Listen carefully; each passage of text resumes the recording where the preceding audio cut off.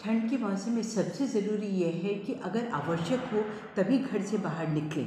और यदि घर से बाहर निकलना आवश्यक हो तो पूरी तरीके से अपना ठंड से बचाव करके निकलें। ठंड से बचाव के लिए सिर ज़रूर कवर करें, खास करके बच्चों का। जो सिर का सरफेस एरिया होता है, वो बहुत ज़्यादा होता है। तो हमेशा हेड कवर करना बच्चों का बड़ा ज़रूरी है और पैर में उनके मोजे या जूते ज़रूर होने चाहिए क्योंकि अगर वो ठंडे फर्श पर पैर रखते तो ठंड एकदम से उनके अंदर जाती है। बुज़ुर्गों के बारे में मैं बात ज़रूर करना चाहूँगी कि बुज़ुर्ग यदि संभव हो तो बहुत जल्दी स्नान करने की आदत कई लोगों की रहती है और उसके बाद बिना बदन को पहुँचे हुए सीधे ही वो पूजा करने के लिए चले आते हैं।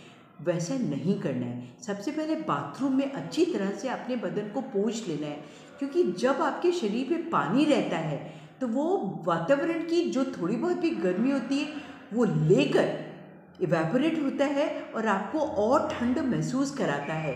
और सुबह अगर संभव हो तो 10 बजे से पहले यदि आप स्नान करते हैं तो बिना पूरी तरह से सूखे, बिना पूरी तरह से कपड़े पहने हुए, कभी भी बाहर बाथरूम के न निकले, जितने हार्ट अटैक्स होते हैं, वो सुबह चार से दस बजे के बीच में ही होते हैं। उस समय पे सबसे इंपॉर्टेंट चीज़ ठंड से बचाव करना है। ठंडे पानी से नहाना जहाँ तक हो अवॉइड करना चाहिए, गुनगुने पानी से नहाना चाहिए, शरीर को अच्छी तरह से पोछ कर और गर्म कपड़े पहनकर ही बाहर निकलना चाहिए। नंगे पैर संभव हो तो न निकले, मोजे ज़रूर पहन लें। अगर आप पूजा करने भी जा रहे हैं तो धुले मोजे पहनकर और आप अच्छी तरह से पूजा करने जा सकते हैं।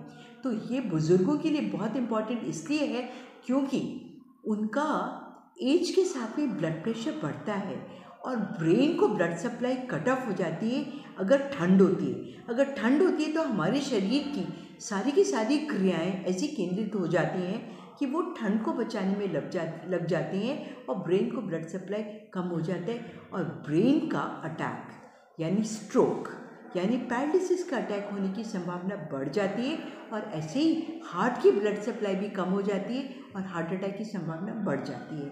ये जानलेवा सिद्ध हो सकते हैं, अतः अपने घर के बुज़ुर्गों को बचा के रखें। जो यंगर जनरेशन है, उसको काम पे जाना पड़ता है। काम पे जाते समय वो ये ज़रूर ध्यान में रखे कि वो गर्म कपड़ों कपड़ों के साथ ही निकले और हाई स्पीड में टू व्हीलर न चलाए। क्योंकि अगर हाई स्पीड में वो टू व्हीलर चलाता है तो पूरे का पूरा मुँह तो उसका कवर नहीं होता, नाक, आँखें तो खुली ही होती हैं। और उसके ज़रिए ठंडी हवा की झोंके जो आते हैं, उससे कई बार कुछ एलर्जिक टेंडेंसीज भी वो डेवलप कर लेता है। नाक बहने लग जाती साइनोसाइटिस हो जाती है सिर में जमा हो जा, होने लगती है, ठंड, और उसको फिर बुखार आने लगता है, और वो अपने काम पे जाने में असमर्थ हो जाता है।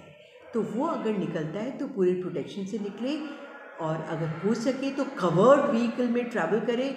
अगर उसको टू व्हीलर में या पैदल चलना होता है तो गति उसकी सीमित हो।